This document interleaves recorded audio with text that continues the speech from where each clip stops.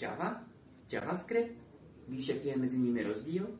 Co se týče webového vývoje, Java je primárně na backendu, když to JavaScript na frontendu.